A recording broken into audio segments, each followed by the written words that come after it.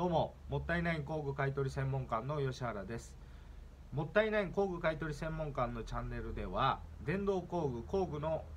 説明そしてその使い方について、えー説明しているチャンネルとなっておりますのでご興味があればチャンネル登録の方よろしくお願いいたします、えー以前の動画からコンクリート観覧についてご説明をしております。え当社では全国どこからでも買い取りが可能な宅配買い取りサービスを行っております。えコンクリートカンナのような小さなものでございましたら段ボールに詰めてこちらの方に配送するだけで買い取りが可能となっております。え非常に便利なシステムとなっておりますのでえ全国どこからでものお客様から買い取りが可能となっております。えーぜひご利用いただければなと思います。